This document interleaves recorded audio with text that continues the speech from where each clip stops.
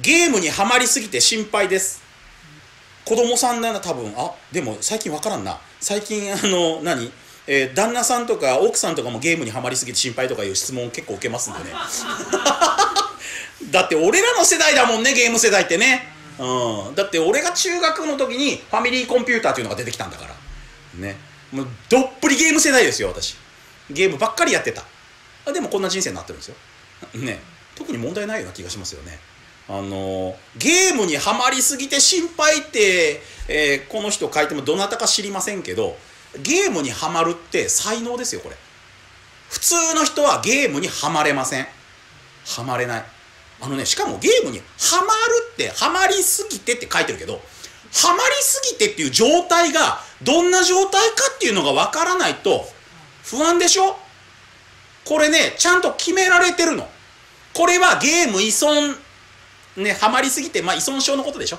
ゲーム依存症かどうかが心配だっていうやつでしょ。あのねゲーム依存症ってちゃ定義があるの。でどんな定義かっていうとめっちゃ簡単に言うと、えー、お部屋でおしっこする。これがゲーム依存。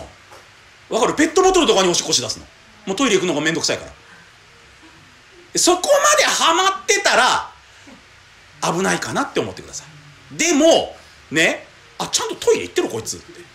でお腹すいたらなんか部屋から出てくるわって。全然依存じゃないそれ。健全。何の心配もいらない。ね。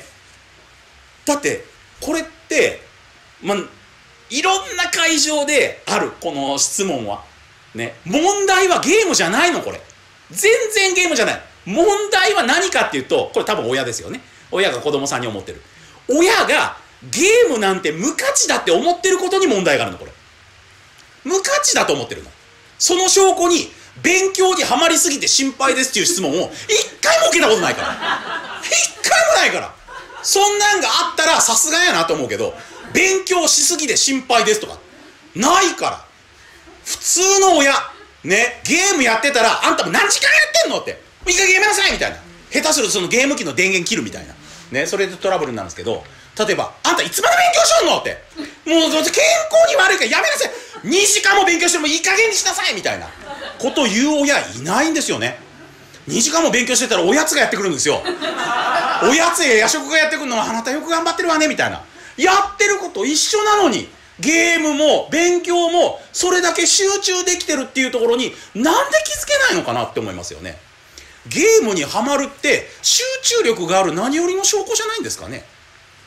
そしてこのゲームっていうのはどうすれば集中して飽きずにファンになってくれるのかっていうのを考えて作ってる。だからこれ勉強に生かしたら相当面白いですよね。実際これ勉強に生かしてる企業もいっぱいあるのこれ。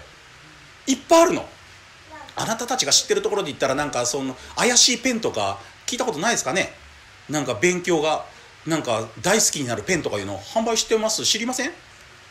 知らないの？なんか勉強するとスタンプがペコーンってつくんですよスマホに、えー、スタンプカードみたいなでそれどんどんレベルが上がっていくんですよ。で面白いのね子供はね。そのペン使って勉強するとどんどんレベルが上がってってどんどんなんか勇者になっていくから楽しくてしょうがないの。どんどん勉強するんだだからそんなのが思いつくのってハマった人しか思いつかないから。適当にやってる人には思いつかないから。だからゲームにはまるって才能だと思ってください。集中力あると思ってください、はい、だからたまちゃんは何が心配なのかよくわからない、ね、例えば3日も物食べてませんとか、ね、もう部屋でうんこし始めましたとかなったらそれやべえかなってそれでもやべえかなぐらいでね。うんこするぐらい部屋でうんこするぐらいゲームやってると根性あんなこいつって思いますけどすげえなこいつ録画しようみたいな感じで思いますけどね。えたまチャンネルをご覧の皆さんいつも応援していただき本当にありがとうございます。これからもたくさんの笑いと学びと感動をお届けしていきますので気に入っていただけたらいいねとチャンネル登録をどうぞよろしくお願いします。